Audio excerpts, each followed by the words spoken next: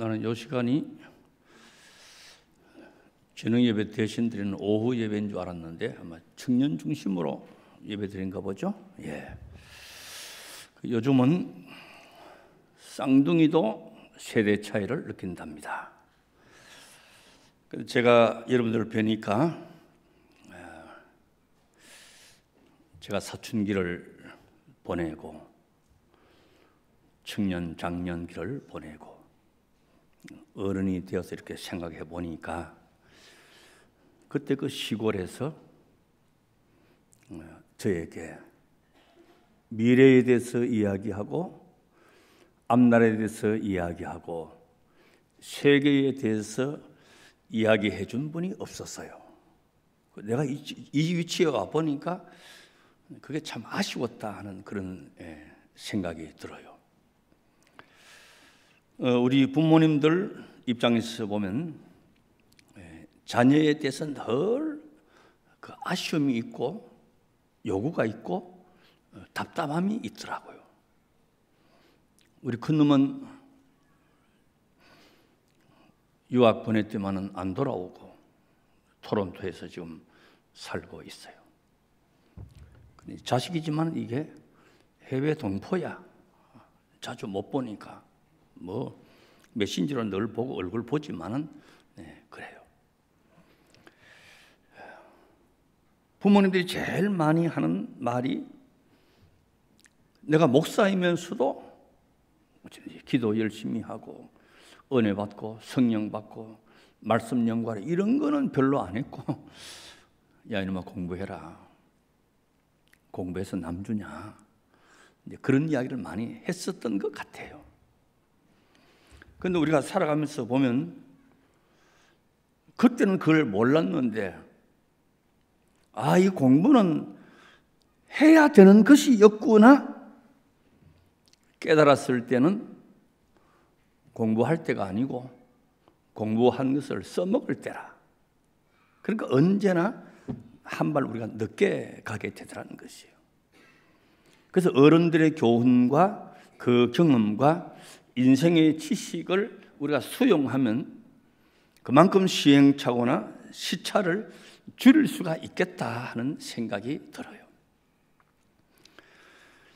우리 부모님 세대는 농사 짓고 살 때는 모든 가치와 기술과 재능은 부모로부터 왔어요. 언제 벽지를 뿌리고 언제 고추 모종을 하고 그럼 부모님들이 다 수용을 해 주었어요. 그러나 지금은 그런 지식이 필요가 없고 젊은이들이 훨씬 더 앞서 있어요. 세상에 대해서, 정보에 대해서 앞서 있어요. 그러나 제가 오늘 여러분들께 말씀드리고 싶은 것은 네, 은혜의 세계는 그렇지 않다는 것이에요. 그걸 제가 말씀을 드리려 그럽니다. 어, 지구가 이렇게 돌고 있습니다. 예, 자전, 공전 이렇게 돌고 있죠. 지구의 축이 이렇게 약간 삐뚤어져 있어요. 어느 교육감이 초등학교를 시찰하고 옆에 놓여 있는 지구본을 가르쳐서 반장을 보고 이야기했습니다. 여기 지구본이 왜 이렇게 기울어졌냐, 기울어졌냐. 그랬더니 반장이 하는 말이 절대 내가 그런 거 아닙니다. 내가 그런 게 아닙니다. 그 선생님 보고 선생님 이 반장 보고 지구본이 왜 이렇게 기울어졌나 모르니까 지가 안 그렇다 그러는데 왜 그러냐? 제가 진짜 그런 거 아닙니다. 내가 고쳐놓겠습니다. 옆에 있는 교장 선생님한테 아니 지금 담임 선생님하고 반장한테 모르는데 지구본이 왜 기울어졌나 모르니까 고쳐놓겠다 하니까 이게 무슨 말입니까? 했더니 조장 형이 하는 말이 아무도 이 중국산은 좀 질이 떨어진 것 같습니다. 그렇게 대답했더라는 거예요. 자, 이 지구가 공전 자전을 하는데 공전 속도가 뭐 내가 재본 건 아니에요. 10만 4,400km랍니다. 지구가 돌아가는 속도가. 시속 10만 4천 km. 태평양을 건너가는 747, 혹은 380 빨라봐야 한 1000km 되는데 지구는 14, 10만 4,400km로 달리 가는 거예요. 그 지금 멀미하는 사람 없죠? 자전 속도는 얼마냐? 시속 1687km랍니다. 747보다 갑절로 빨리 돌아가는. 우리가 우주선을 타고 나가기 전에 우리가 살고 있는 이 지구를 볼 수가 없어요. 그러나 증명된 것은 이 지구가 공처럼 우주 공간에 떠 있어 가지고 태양을 중심으로 돌고 있다. 이거 모르는 사람 아무도 없어요. 자, 이 말은 무슨 말인고 하니까 만물은 보이는 세계가 있고 보이지 않는 세계가 있다는 거예요. 보이는 것은 보이지 않는 것에 의해서 움직이고 있는 것. 이 우주 공간에 지구가 둥둥 떠 있는데 거기 보이지 아니하는 그 힘이 이 자전 공전 속도가 크리니치 천문대보다 더 정확하게 돌아가는 거예요. 1년은 365일, 5시간 56분 뭐몇 초. 그래 4년마다 하루씩 더 있잖아요. 그거 짜투리 모아가지고 정확하게 돌아가는 거예요. 이게 우연하게 이렇게 되었느냐? 보이지 않는 또 인식의 세계는 뭐 개신이 묵신이 이렇게 하는 중에 초자연적인 그런 능력이라도 할 수가 있어요. 그 합리적인 사고와는 거리가 좀 멀고 또 보통 사람들은 생각도 못하는 일이죠. 그는 보이는 세계는 합리적인 과학의 길을 통해서 이해를 할 수가 있습니다. 그건 여러분들이 저보다 훨씬 더 앞서 있죠. 우리가 둘러싸고 있는 이 자연, 산과 들과 바다, 이런 다 사람들 눈에 볼 수 있는 것. 그럼 이 보고 이해하는 사령탑이 뭐냐? 머리잖아요, 머리. 정확히 말하면 이제 뇌를 말할 수가 있죠. 자, 눈으로 봅니다. 우리 눈의 구조는 카메라 구조하고 아주 유사 그대로 닮았어요. 눈의 구조를 본받아서 이제 카메라가 고안되었는데 눈에 보이는 이것이 뒤에 망막에 비춰집니다. 그 망막은 무수한 세포로 구성되어 있죠. 그, 그 반응이 아주 민감하게 되어 있어요.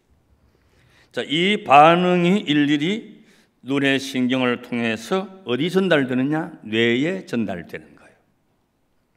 그렇기 때문에 우리가 사물을 보고 어떤 인상을 받게 되는 것은 눈이 아니고 뇌가 한다는 것이에요. 보는 것은 눈이지만은 그 본 것을 내용을 전달받고 그 의미를 형성하는 작용은 뇌가 한다는 거예요. 그 뇌가 이상이 있으면 사람이 정상적인 생활을 할 수 없는 것이죠. 그렇기 때문에 모든 보이는 것보다도 보이지 않는 것이 훨씬 더 중요하다 하는 그 이야기예요. 보이는 것보다 보는 사람의 인생관, 가치관, 신앙관에 따라서 그 인식하는 것이 달라지는 것이. 성도는 보이는 것으로 살아서는 안 돼요. 보이는 것은 예수 안 믿는 사람과 똑같이 먹고, 똑같이 입고, 똑같이 일하는 건 같아요. 그러나 대화를 해보면 어딘가 드러나게 되어 있어요. 하나님의 자녀와 하나님을 모르는 사람들은 이미 다 가치가 틀리고 인생관이 틀리고 생각하는 게 틀려요. 이런 진주를 볼 때에 진주가 진짜인지 가짜인지 눈으로 식별하기는 어렵습니다. 그런데 이빨로 깨물어 보면 가짜는 미끄덩 미끄덩하고 진짜는 까실까실해요. 그 요즘 중국에서 까실까실한 가짜를 또 만들었다 그러더라고. 또 분별한 걸또 만들어야 되겠지만. 자, 그런데 자연산 진주는 그 모양이 완벽하지 않답니다. 어딘가 조금 이렇게 부족하지만 가치가 있고 대량 생산하는 진주는 아주 알이 곱고 매끈한 거예요. 그냥 쉽게 만들어내는 그 자연산 진주는 아주 구하기도 어렵고 가격이 비싼 것이죠. 자, 하나님께서 온 인류를 구원하시기 위해서 예수 그리스도 이 땅에 보내셨는데 우리를 구원해 주셨어요.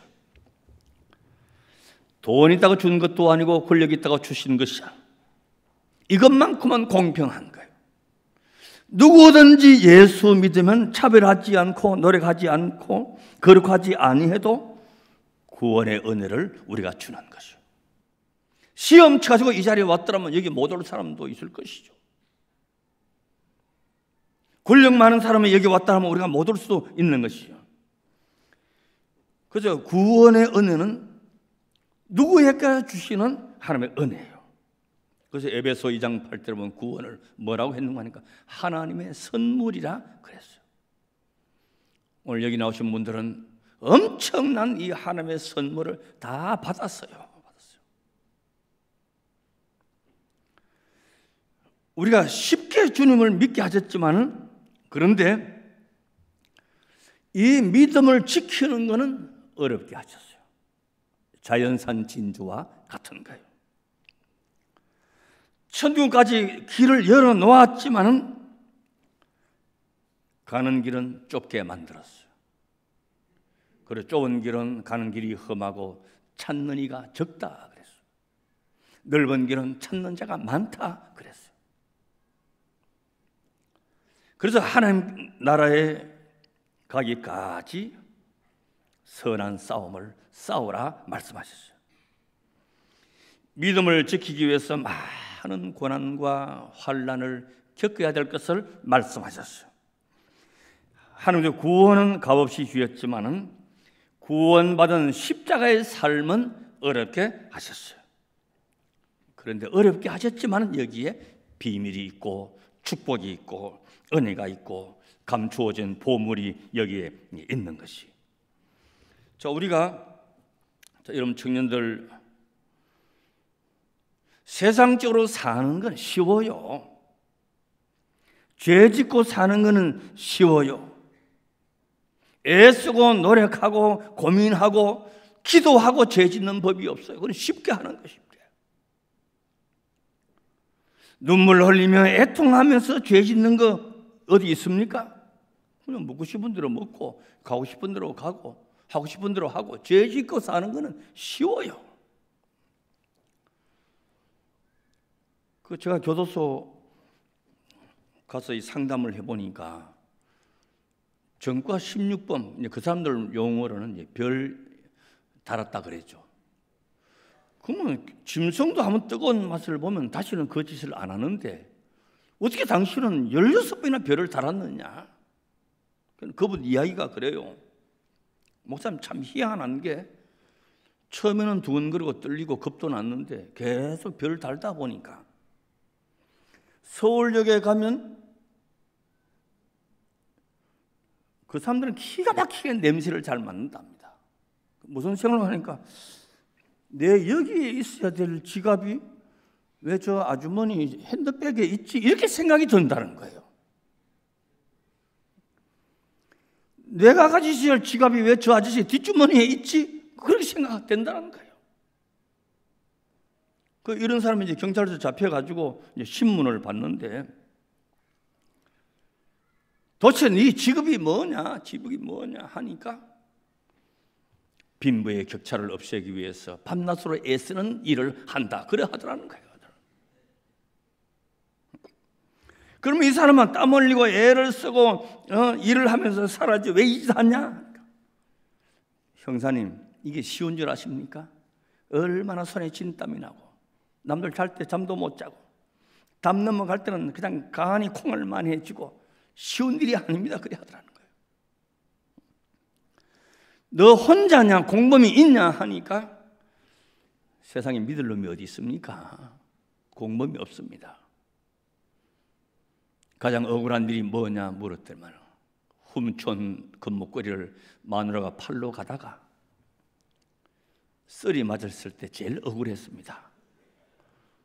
마누라한테 야단 쳤더만 마누라가 대들기를 본전 아니냐 인간아 그리 하더라는 거예요. 양심이 다 없어져 버렸죠. 넓은 길은 죄악의 길이고 편안한 길이고 그 길이지만 마지막은 멸망의 길이에요. 그러나 주의 일은 고생이 따릅니다. 주의를 지키고 봉사하고 때로는 손해 보기도 하고 어려운 일이 있을 수도 있고 음, 그래요. 여러분 청년 요셉을 보십시오. 성경은 보면 여러분들 이제 싱가포르에 와서 삽니다만은 어, 국제화되고 세계화된 인물들은 다 성경에 있어요. 요셉, 다니엘 다 세계화된 청년들이었어요. 또 아브라함도 이주자였어요. 청년 요셉이 보디발의 아내가 하자는 대로 따라갔으면 감옥에 안 가죠. 쉽게 살 수가 있을 거예요. 그러나 단호하게 거절합니다. 내가 하나님 앞에 어떻게 악을 행할 수 있느냐 이것 때문에 어려움을 당하고 손해를 보고 환란을 당하고 감옥 가는 겁니다. 편하게 사는 것은 쉬워요. 편하게 사는 건 그냥 따라가면 돼요. 그랬다고 한다면 하나님께로는 버림을 받았을 것이고 그 말로는 비참하게 되었겠죠. 그러나 하나님을 경외하는 사람은 감옥에 갔지만은 거기가 끝이 아니에요. 여러분 성경의 창세를 읽어보십시오. 여호와 하나님께서 요셉과 함께 하심으로 범사의 그를 형통케 하셨다. 아, 개뿔이 형통하냐? 형통할 것 같으면 잡혀가다도 묶인 게 풀려서 끌려 나와야 되고 종으로 팔려갔다가 도망쳐서 집으로 돌아와야지 형통하지. 갈수록 태산인데 성령의 진술은 형통했다. 요셉과 함께 했다. 요셉은 종살이하고 누명 쓰고 감옥에 갔지만 여러분 우리는 인생을 지금 내가 현재 겪고 있는 것과 과거 여기까지밖에는 인식할 수가 없어요. 그러나 하나님은 우리의 인생 전체를 다 보고 있는 거예요. 미래를 다 보고 있는 거예요. 우리가 그걸 모르기 때문에 지금 현실이 답답하고 어려움을 피하고 싶고 쉽게 살고 싶지만 하나님의 그 연륜하고 경륜은 전체를 다 보고 있는 거예요. 오늘 이 자리에 있는 청년 여러분들 10년 뒤에 20년 뒤에 30년 뒤에 내 모습을 모르지만 하나님은 지금 다 보고 계시죠. 요셉 감옥에 갔지만은 보디발의 아내의 유혹을 받았지만은 야 됐다 쓸만하다 감옥에도 집어넣어봐 됐다 어느 날 끄집어냈어 총리 대신에 되게 하신 거예요 다니엘도 사자굴색에 던졌지만은 오히려 왕의 총애를 받았습니다. 결국 총리 가운데 총리가 되었어요. 요셉도 감옥에서 나온 다음에 애국을 다스리는 총리의 길이 열려 있었어요. 형님들이 그 앞에 와가지고는 처음에는 몰랐다가 나중에 보호자에 앉은 자가 자들이 팔아먹었던 동생 요셉인 것을 알고 사시나무 떨듯이 떠는 거예요. 이제 죽었다, 죽었다. 내가 한 짓이 있으니까. 그런데 요셉은 그 어린 시절에 자기를 팔아먹었던 형님들의 배신과 고생했던 걸 생각하면 끔찍스러운 일이죠. 우리는 성경을 읽을 때에 요셉이 애고에 팔려갔다, 감옥에 갔다, 이걸 쉽게 그냥 넘겨버리는 경향이 있어요. 그러나 여러분 그 세월이 얼마나 피눈물 나는 세월이었느냐는 거예요. 그런데 요셉은 형님들한테 말합니다. 분하고 억울하고 복수심에 차 있는 것이 아니고 하나님의 역사로 수용을 하는 거예요. 형님이 나를 팔아먹은 것은 형님이 잘못한 것은 하나님께서 나를 먼저 보내서 형님들과 아버지와 우리 모두를 다 구원하기 위한 하나님의 섭리 가운데 하나님의 계획된 스케줄 가운데 이루어진 것입니다. 형님들 불안해하거나 염려하지 말라고. 아버지 야곱이 죽고 난 다음에 또 형님들이 또 염려합니다. 지금은 아버지 계시는 거 아버지 체면 봐서 아버지 무리하기 싫어서 아버지 마음 아프게 안 하려고 했지만 아버지 세상 떠났으니까 이제는 우리 죽었다. 요셉은 눈물을 흘리면서 형님들 그러지 마세요. 내가 형님들 평생에 이 조카들까지도 모든 가족들 내가 잘 보살펴 주겠다. 위대한 신앙의 사람이죠. 여러분 어려움을 당하면서도 힘들면서도 우리가 지켜야 될 것은 하나님의 말씀을 지키는 거예요. 어른들뿐 아니고 청년들도 아멘 안 하기로 결심을 해가지고 다시 한 번 더 하겠어요. 아무리 어려움을 당하고 힘이 든다 하더라도 하나님의 말씀을 내가 지키리라 지키리라.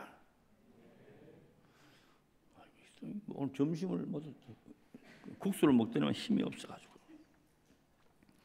눈에 보이는 거 우리 앞에 닥치는 일은 우리를 괴롭게 하고 아프게 하고 우리를 슬프게 하고 힘들게 합니다. 여러분들 현대인들의 불행이 어디 있어요? 너무 쉽게 너무 편하게 살려가는 풍조가 뒤덮여 있어요. 제가 서울 구치소에 가보니 요즘 대단하신 분들도 많이 있죠. 전부 쉽게 살려고 하는 땀 흘려서 돈 벌려고 하는 사람이 아니고 권력을 이용해서 기회를 이용해서 전부 잘못 먹은 사람들만 다 들어와 있더라고. 한 번은 가니까 이렇게 뒤집어 쓰고 걸어가는데 보니까 많이 보던 사람인데 보니까 그분이 만사 형통이더라고. 그 싱가포르에서는 만사 형통 모르죠? 네, 만사 형통. 대통령 암흑의 형님 만사 형통 그게 있더라고. 쉽게 살려고 하는 사람들. 쉽게 인생을 살고 쉽게 돈을 벌고 쉽게 투기하고 이게 우리 한국 사회를 병들게 하는 것이에요. 오늘 본문에 나오는 한나를 보면 우리가 어떻게 살아야 되느냐 하는 그 답을 볼 수가 있어요. 한나는 평범한 여성이에요. 결혼해서 살지만은 남편의 사랑은 받았지만은 성령의 표현대로 하면 마음이 슬픈 여자라 그랬어요. 식사도 제대로 못할 정도로 마음이 괴롭고 수심이 가득한 여인이었다. 그런데 하나님께서는 그 평범한 여성 한나를 통해서 사무엘 시대를 열어 가신다는 것이에요. 평범한 여성을 통해서 원대한 역사적인 스케줄을 가지고 계시라는 것이요. 한나는 자녀가 없었습니다. 여호와께서 성태치 못하게 하셨기 때문이라 그랬어요. 그런데 하나님께서 먼저 태의 문을 여시고 그 다음에 믿음의 복을 주신 것이 아니고 먼저 믿음을 갖게 하고 그 다음에 태의 문을 열어 주셨어요. 영의 문을 먼저 여시고 보이지 아니하는 하나님의 세계를 먼저 보게 하시고 그 다음에 육신의 문을 열어 주시는 것이요. 이것이 순서예요. 우리는 언제나 눈에 보이는 거, 손으로 만질 수 있는 거, 자로 재볼 수 있는 거, 저울에 달 수 있는 거, 숫자로 헤아릴 수 있는 거, 내 통장에 찍히는 거, 금고에 넣을 수 있는 거, 이걸 자꾸 먼저 얻고자 하는 거예요. 그러나 믿음 없이 보이지 않은 하나님의 세계를 보지 못하고 보이는 것만 먼저 얻었던 부딘나를 한번 보십시오. 부딘나. 하나님의 은혜를 알지 못했어요. 태의 문을 열게 하지해 주셔서 자식을 주었지만은 하나님보다 자녀를 보는 거예요.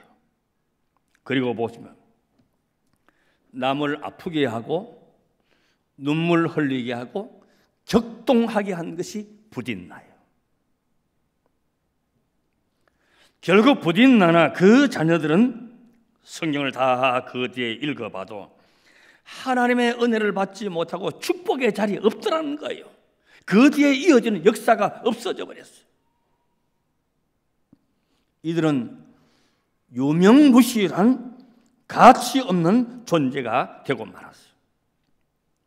그래서 우리는 먼저 믿음을 가져야 되고 은혜의 입기를 팔아야 되고 한나와 같은 순서로 살아야 되는 것이.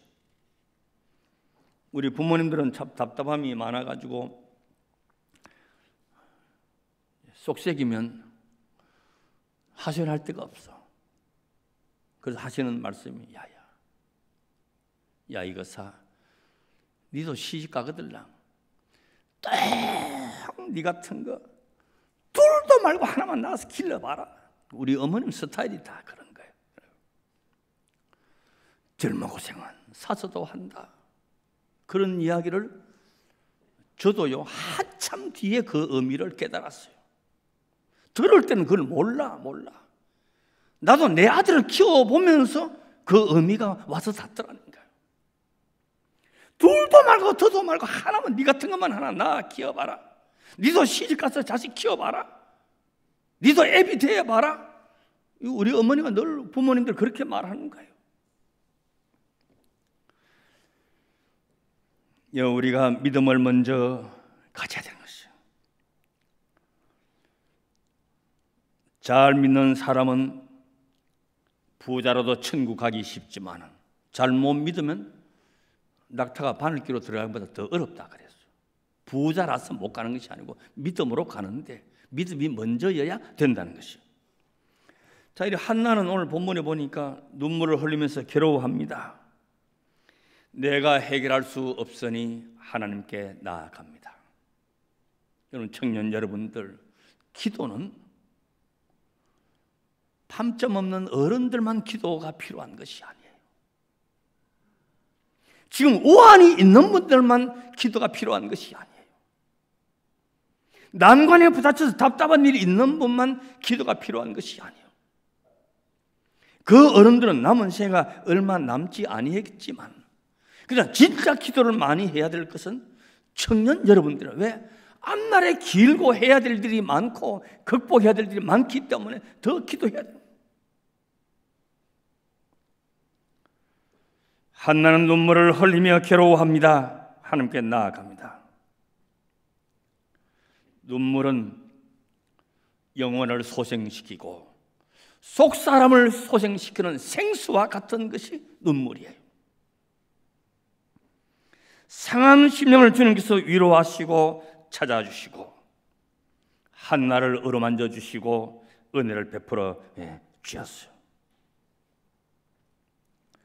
자, 우리는 종종 기도하고 또 위의 문을 열어 달라고 하면서도 근데 실제 우리가 원하는 것은 육신의 문을 열기를 자꾸 원하고 있어요.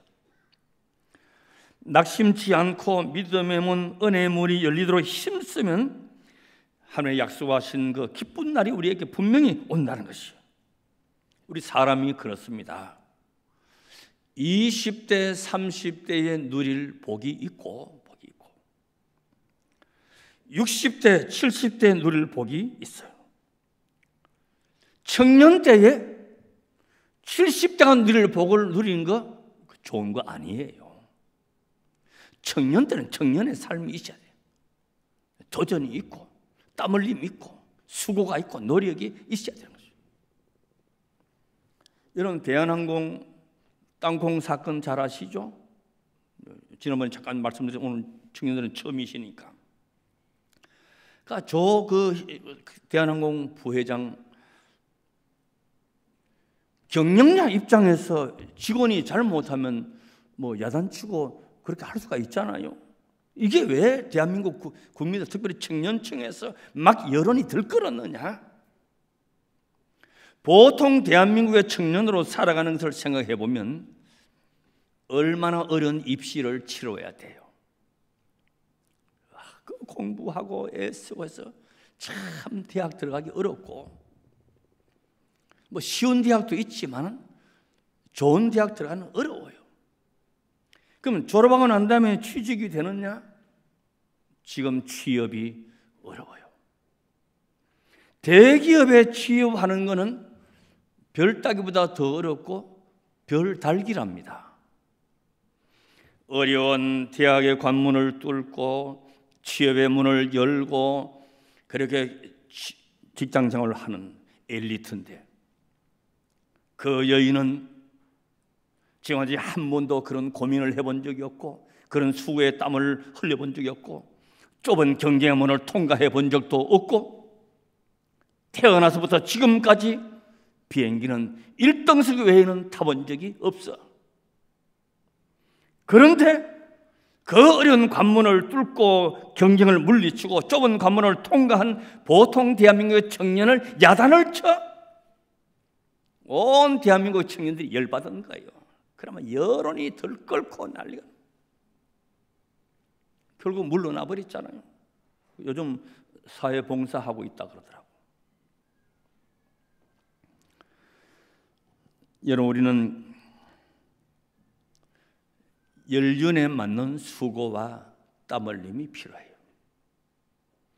청년 때에 편하게 살려고 하지 마십시오. 청년 때에 좋은 것 누리려고 하지 마십시오.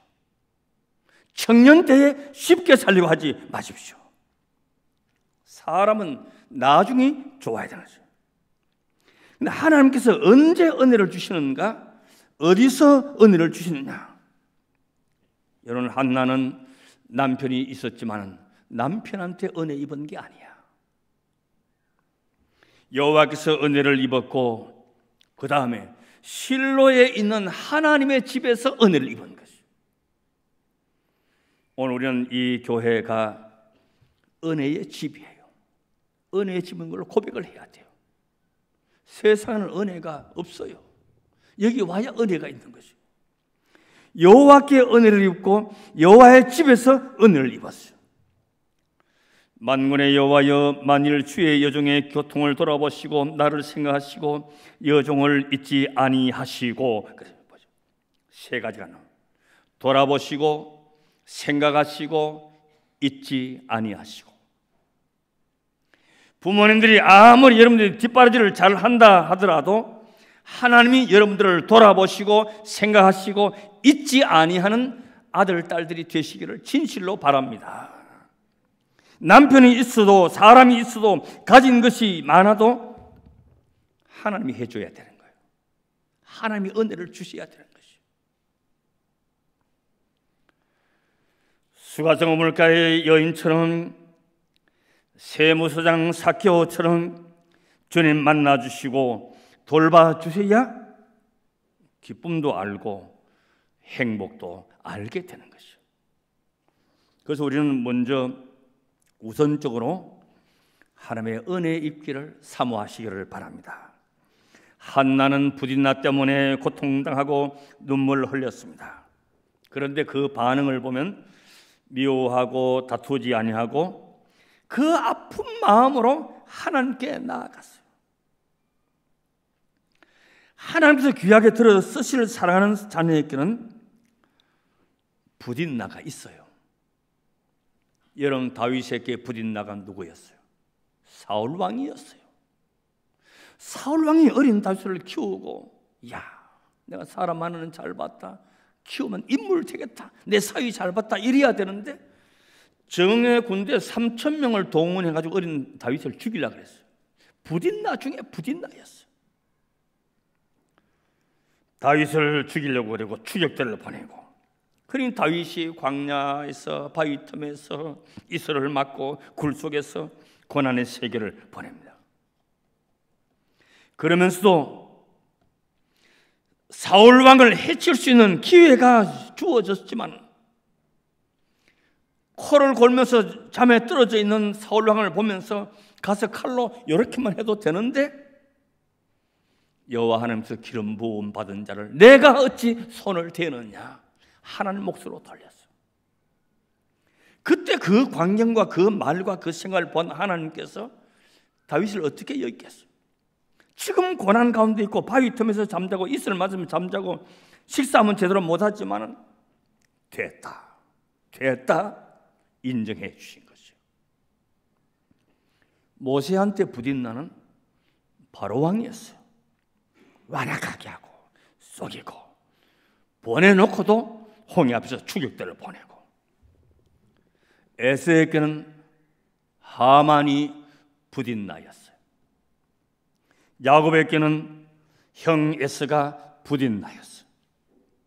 사마리아 수가성 여인은 수많은 남자들이 부딘 나였어. 모두가 다 부딘 나에게 괴로움을 당했어요.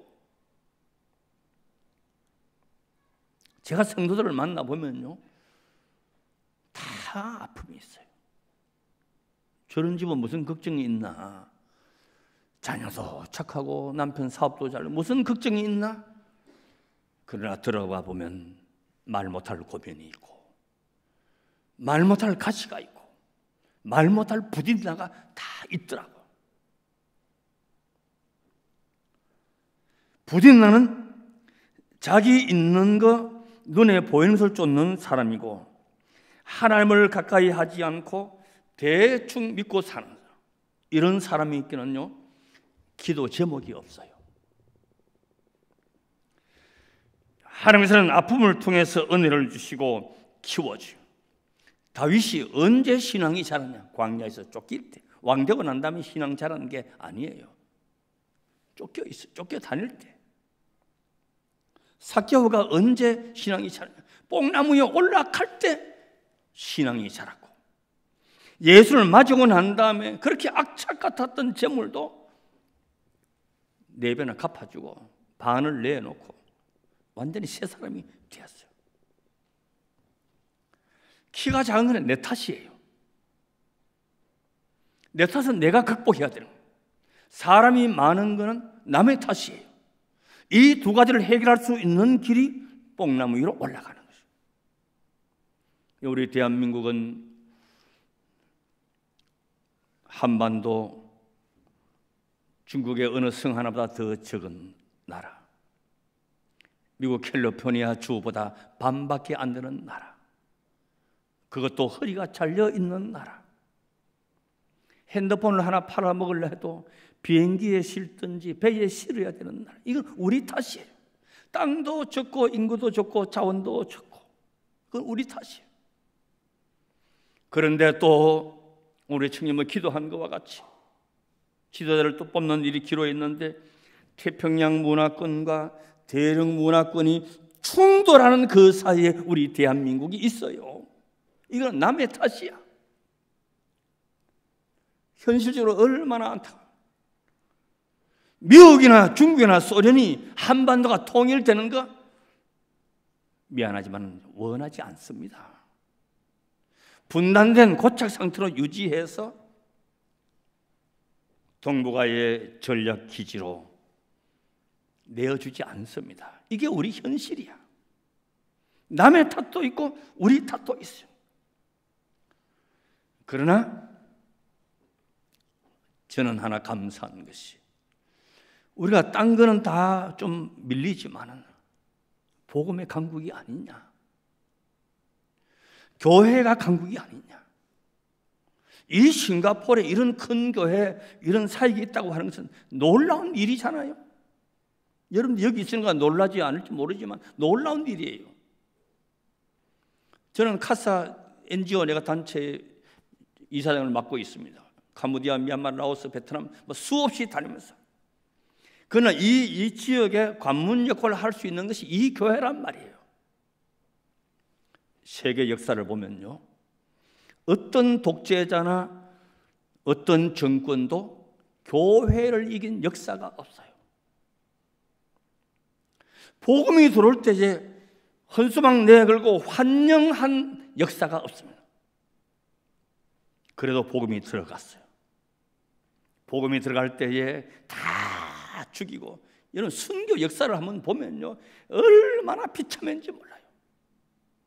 저는 성지순례 가가지고 제일 감동식은지 카타콤베 그 지하의 동굴 그 개미처럼 생긴 그 동굴 안에서 신앙을 지키기 위해서 아이를 낳아서 키우고 사람이 죽으면 장사 지내고 같이 공동 생활을 하고 그게 뭐 얼마나 복잡한지요. 그 불 켜놓고 그 안내위원이 가는 대로만 따라가야지 옆길로 갔다는 찾아 나오지도 못해요. 한국의 어떤 신혼 부부가 젊은 청년 부부가 신혼 여행을 갔는데 얼마나 믿음이 좋은지 성지 순례를 갔답니다. 그래 갔다 곤배 들어가서 이제 안내원을 따라서 불켜을 들어가는데 신혼 부부니까 좀 장난기가 발동해가지고 자기야 나 잡아봐라 하고 옆으로 빠졌어. 그러고만 길을 잃어버리는 거야. 어디서 아무리 찾아 헤매도 찾지를 못했어. 밖으로 나올 수가 없는 거야. 얼마 세월이 지나서 겨우겨우 굴 밖으로 이제 나오게 됐는데 그날이 신랑 환갑날이었다 그래요. 환갑날. 그렇게 복잡한 거기서 신앙을 지켜야 교회를 이긴 역사가 없고 복음을 막은 역사가 없어요. 그러 한국도 하나님께서 역사를 주도하시고 이끌리라. 나라가 적고 인구도 적고 자원도 부족한 우리 탓도 있고 태평양 그 연안과 대륙 그 사이에 있는 남의 탓도 있지만 극복할 수 있을 것이다. 뭐가 복음이 극복하는 것이죠. 여러분들이 믿음의 젊은이가 된다고 한다면 역사를 바꿀 수가 있는 것이요. 하나님은 이 아픔을 통해서 은혜를 주시는 것이요. 은혜의 길을 사모했던 한나 여호와께서 그를 생각하셔서 아들을 낳게 해 주셨어요. 너무 감사. 내가 여호와께 구하였더니 아들을 주었다. 이름을 사무엘이라 지었어요. 여기서 더 중요한 것은 바로 이겁니다. 은혜는 은혜를 은혜로 깨달아야 은혜가 되는 거예요. 아무리 큰 은혜라도 은혜로 깨닫지 못하면 은혜가 될 수가 없어요. 칼 메닝그라고 하는 사람이 한 말 가운데 우리의 신앙에서 사실보다 태도가 중요하다 그랬어요. 예수님이 날 위해 십자가 돌아가셨고 부활하셨고 누구든지 저를 믿는 멸망하고 영생을 얻으리라. 십자가에 돌아가신 사실이지만 믿는 자에게 내가 역사하는 것이 믿지 않으면 나하고 아무 관계가 없는 거예요. 그래서 사실보다 태도가 더 중요한 거예요. 옛날에 한국의 어느 동네에 갑돌이와 갑순이가 살았는데 둘이는 서로 서로 사랑을 했더래요. 내가 노래 안 불러도 알겠죠? 네. 둘이는 서로 서로 사랑을 했는데 겉으로는 안 그런 척 했더래요. 고까지 끝 했더래요. 모르는 척 했더래요. 사실은 사랑했는데 태도는 안 그런 척하고 모르는 척하고 고까지 끝하고 그 장가간 날 첫날 밤에 달바가 바라보고 울고 이런 비극이 어디 있어요? 그는 사실보다 태도가 중요하다는 거죠. 그래서 아멘이 중요한 것이고 서약이 중요한 것이란 말이죠. 한나는 은혜를 은혜로 알았습니다. 그러나 부딘나는 은혜를 받았지만 은혜를 알지 못하고 자식만 보았어. 그걸로 끝난 거예요. 은혜를 은혜로 받았던 한나는 그 은혜의 아들 사무엘이 민족 역사의 위대한 지도자가 되었고 사사 시대를 이끌어가게 되는 부디 나는 자식을 은혜로 여기지 않고 자랑으로 여기죠. 남을 아프게 하고 쏙 뒤집어 놓고 슬픔을 주고 여기는 겸손이 없고 은혜가 없어요. 은혜가 없다는 말은 인생에 그 인생이 복이 없다는 말이에요. 복은 내가 갖는 것이 아니고 하나님이 주시는 것이에요. 그러나 한나는 은혜를 사모했던 사람이 아들 사무엘을 낳았을 때도 하나님께서 주셨다 그 이름에도 은혜를 담았어요. 내 자식이라고 하지 않고 여호와 앞에 배였다 그랬어요. 여호와의 집에 나아갔고 아이를 위해서 기도했고 기도한 대로 다 허락했어요. 그리고 28절에 한번 보십시오. 그러므로 나도 그를 여호와께 드리되 그의 평생을 여호와께 드리나이다 하고 그 아이는 거기서 여호와께 경배하니라. 여러분 은혜라고 하는 것은 생산적입니다. 은혜는 깨닫는 것만도 아니고 느끼는 것만도 아니고 달라지게 되어 있어. 얼굴 빛이 달라지고 마음도 달라지고 운명도 달라지고 그리고 다른 사람까지 변화를 시키는 거예요. 이스라엘 역사에 사자 시대가 왕정 시대가 시작되는 그 과도기의 사무엘은 위대한 하나님의 사람으로 역할을 하는 거예요. 은혜 있기를 사모했던 평범한 여인 한나를 통해서 위대한 사무엘이 주어진 것이에요. 그 은혜의 생산성이 온 이스라엘의 파급이 되었어요. 사랑하는 여러 청년들 쉽게 살려고 하지 말고 쉽게 믿으려고 하지 말고 하나님 나라는 짐을 져야 되는 거죠. 쉽게 얻어지는 것은 귀한 것이 있을 수 없어요. 귀한 것일수록 어렵게 어렵게 얻어져요. 저 개천에 있는 돌이 다 금이라면 누가 그 귀하게 여기겠어요? 금은 얻는 것이 어려워요. 광산에서 수 없는 바위를 캐내도 마지막 얻는 것은 금이 조금밖에 안 돼요. 그래서 금이에요. 오늘 우리의 생애에서 쉽게 가지 않고 좁은 길을 가지만은 하나님의 은혜를 입은 청년들이 되어서 그 은혜의 역사심이 여러분들의 일생을 주도하시기를 바랍니다. 어른들이 걸어갔던 그 은혜의 발자취, 순교의 역사, 우리 믿음의 선진들, 우리 부모님 세들이 걸어왔던 대한민국의 그 역사 생각해요. 제가 첫날 윤봉길 의사 이야기를 했어요. 1932년 상해 임시 군법에 의해서 사형 선고를 받았던 윤봉길 의사. 마지막 사형 직전에 두 아들한테 편지를 썼어요. 나의 사랑하는 두 병장아, 너희는 애비 없음을 서러워하지 마라. 조선이 독립되는 그날에 태극기 휘날리며 나의 무덤을 찾아다오. 아빠의 편지였어요. 여러분 그때 윤몽길 의사의 나이가 줄 아십니까? 24살이었어요. 24살의 아빠가 두 아들에게 쓴 편지야.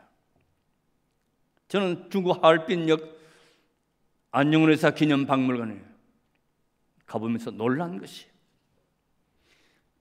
이번에 대련의 비전 트립 가시죠? 예, 대련이 옛날 이름이 여순입니다. 여순 감옥에 갇혀 있을 때에 책을 썼습니다. 그 책 이름이 동북아 평화론이에요. 그때 안중근 의사 나이가 몇이었느냐? 32살밖에 안 됐어요. 나는 그 동북아 평화론을 읽어보면서 어떻게 32살짜리 청년이 이런 큰 틀에서 동북아 평화론을 책을 썼을까? 내가 감탄을 했어요.